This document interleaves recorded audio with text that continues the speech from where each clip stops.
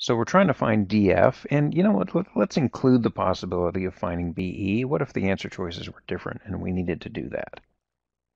So maybe we want to find both of these forces, so we'd cut both of them.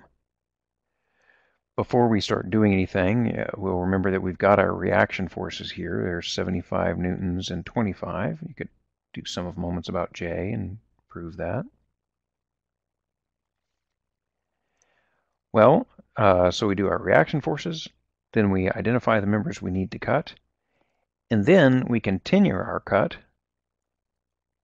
right through the uh, truss. So if I make my cut this way, there's nothing wrong with that. It follows all the rules.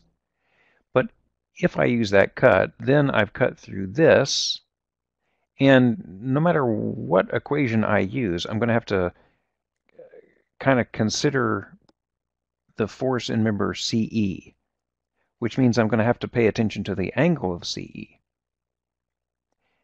Its angle is known. It's, it's 15 meters tall and it's 8 meters wide, uh, so we can deal with its angle, but I'd rather not. I also, if I make that cut, have to deal with the force in member CF, which is at a completely different angle. It's 5 meters tall, 8 meters wide. I don't want to have to deal with any of those angles. So given the choice, if I need to know about this member and that member, instead of cutting through CE and CEF, why don't I cut that way? Do you think that stands a good chance of simplifying our equations? Now, we're going to ignore the fact that we know that CB is a zero force member, and we know that CD has 100 newtons in it. But even ignoring those concepts, could we still solve this? Well, let's figure out what equations we've got. We've got sum of forces in the x direction equals 0, well, it's not likely to help us. So, uh, and to be clear, what we're going to do is we're going to throw away this side of the truss, leaving us with a free body diagram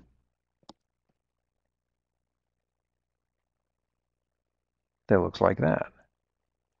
So there's A, and we've got BE over here, and we'll just put an arrow on that, and an arrow on that, and an arrow on that, and not really worry about the directions of those arrows. Uh, we could cut through AB. You and I have already figured out that AB equals BE, so we could do that. That's kind of dependent on the geometry of the truss. So if we had something where we didn't already know that, or that weren't the case for some reason, you know, all it would take, if I put a little force on here at B, then that would make a lot less sense to cut through AB. You could, but yeah. So our free body diagram, we got uh, some forces at B. We'll not forget our 100 Newton force down here. And everything we've cut, we've just slapped an arrowhead on. It really doesn't matter if these arrowheads that I put on here are facing in the right direction or not. If I calculate force DF based on an arrow showing me to go in that direction, and it ends up negative, I've still got the magnitude of df. I just, my guess right now is that it's in tension, and it would turn out to be, uh, if, if, if it's negative, then that just means it would be in compression. I've drawn BE in tension.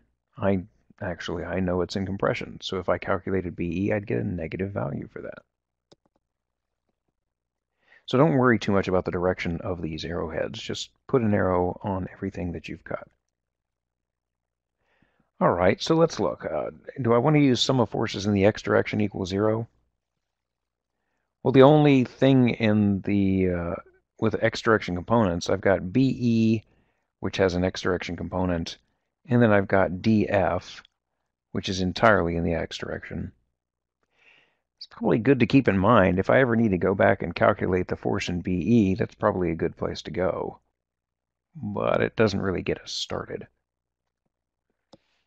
We can look at our other equation, sum of forces in the y direction equals zero. And that's going to involve reaction force at A minus the 100 Newton load uh, plus BEY plus CBY uh, plus, or I guess we could do minus, whatever. Um, CD uh, is in the y direction as well. That's a lot of unknown stuff. Now, you and I know some of those are zero force members and whatnot, but that's a lot of stuff to handle. So, not every time, but often, we'll look for sum of moments equals zero equation that might simplify it for us.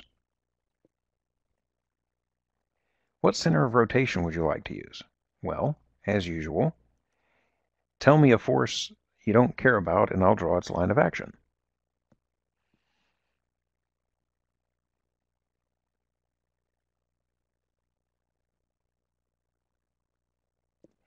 If we've decided that we're going to chase after DF for now, at the moment we don't care about BE. So I'll draw its line of action. What other forces do you not care about?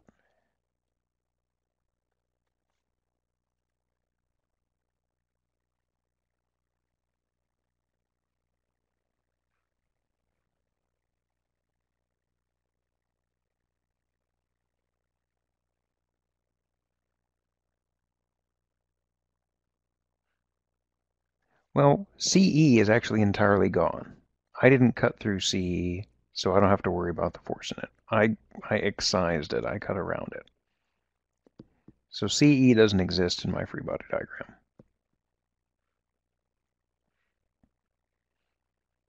So which of these other arrows do I want to uh, be able to ignore?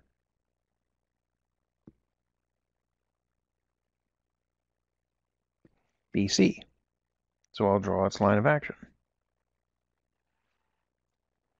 That blue line of action also goes through CD and it goes through the 100 Newton force, so that's pretty helpful. So we're going to do sum of moments about the intersection of those two lines. Which is at B?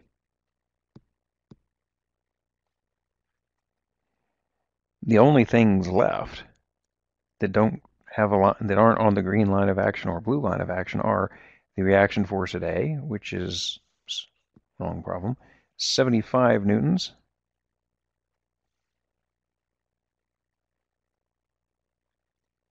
At a distance of 8 meters, so a vertical force with a horizontal distance of 8 meters. And that's pushing us clockwise, which I like to call negative, though the solution file does.